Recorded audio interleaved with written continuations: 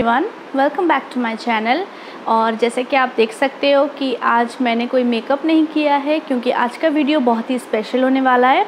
And आज की video में मैं आपके साथ शेयर करने वाली हूँ कि मैं अपने फेस को किस तरह से शेव करती हूँ। यस शेविंग को लेकर एक बहुत मिथ है या बहुत लोग समझते हैं कि शेव करने से आपके बाल बहुत ब्लैक आते हैं या बहुत हार, हार्श या हार्ड हेयर आते हैं, जैसे मोटे हेयर होते हैं, वो आते हैं।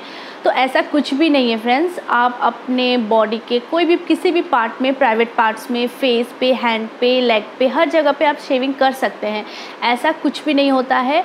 और फ़र्स्ट डिस्क्लेमर मैं आपको बता दूँ कि हेयर जो है, आपके हार्मोनल डिसबैलेंस या बैलेंस के ऊपर ही आपका जो हेयर क्वालिटी है, वो होता है। इससे शेविंग का या हेयर रिमूविंग क्रीम का या वैक्सिंग का इसका कोई रिलेशन नहीं होता है। ये सिर्फ़ एक मिथ है जो कि जनरली पार्लर वाली दीदियाँ बोलती हैं कि, अरे, आपने शेव कर लिया, आपके बाल बहुत ज़्यादा डार्क हो गए, या आपके अंडर आर्म्स बहुत ज़्यादा डार्क हो गए ब्लैक हो गए, या आपके हेयर बहुत मोटे आ गए हैं। ऐसा कुछ नहीं है फ्रेंड्स आप इजीली अपने घर पे शेविंग कर सकते हैं। हाँ अगर आप पार्लर में जैसे आप कर रहे हैं, वो आप कर सकते हैं, लेकिन इन जैसे बहुत टाइम क्या होता है कि हम नहीं जा पाते पार्लर और हमें ज़रूरत होती है तो हम सेविंग उस टाइम पे कर सकते हैं। ऐसा कुछ नहीं है कि अगर आप कर लोगे एक बार तो या दो बार, या अगर आप रेगुलर वे में भी कर रहे हो तो आपके बाल ब्लैक आएँगे। ऐसा कुछ भी नहीं होता है। तो आज मैं आपको दिखाऊँगी कि मैं अपने घर पे फेस के हेयर्स को किस तरह से रिमूव करती हूँ। तो चलिए ज़्यादा लेट ना करते हुए मैं आपके साथ शेयर करती हूँ। तो शेविंग करने के लिए हमें चाहिए ये रेज़र ये रेज़र आपको easily Flipkart Amazon even Nykaa हर जगह पे आपको इजीली मिल जाएगा। ये pack of three pack of six pack of nine में आता है एंड अराउंड हंड्रेड से टू हंड्रेड टू फिफ्टी के रेंज में आता है ये। और मैंने जब लिया था मैंने लिया था पैक ऑफ़ थ्री जो कि मुझे पड़ा था शायद वन थर्टी अराउंड तो आपको ये इजीली मिल जाएगा। और अभी कोरोना टाइम है इसलिए मैं आपको सजेस्ट करूँगी कि आप ऑनलाइन ही शॉपिंग करें। तो मैंने कैमरा जूम कर लिया है एंड नाउ आप देख सकते हैं मेरे साइड लॉक्स पे ये इनग्रोन्स हेयर छोटे छोटे हैं आ, लेकिन हैं। ये मैंने अभी वन मंथ पहले शेव किया था तो आप देख सकते हैं ग्रोथ बहुत ही कम है।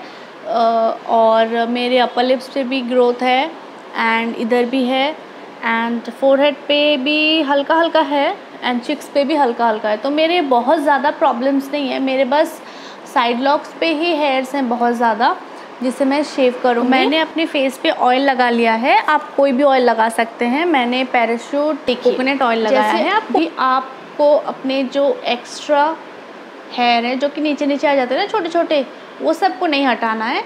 आपको बस इसको ऐसे टाइटली पकड़ना है। एंड जो ये एरिया है, जहाँ पे आपके छोटे छोटे बाल हैं, अब बस आपको इसको हटाना है, देखिए।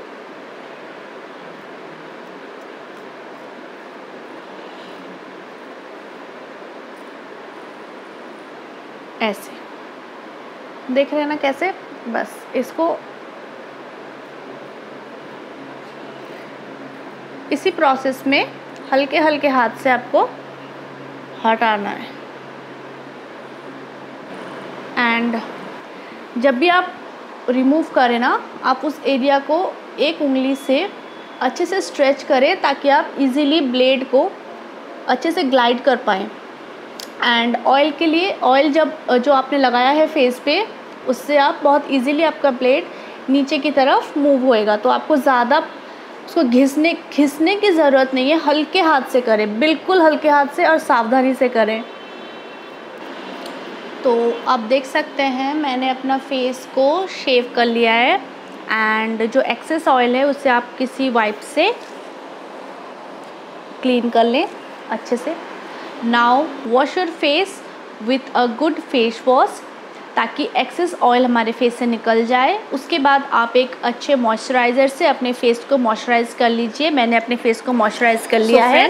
That's all for today's video hope आपको ये वीडियो हेल्पफुल लगे। और अगर आपने शेविंग नहीं किया है तो ज़रूर करिए। कोई प्रॉब्लम नहीं होगी और अगर आपके पास कोई भी क्वेश्चंस है जो कि आप पूछना चाहते हैं तो आप कमेंट सेक्शन में ज़रूर पूछें।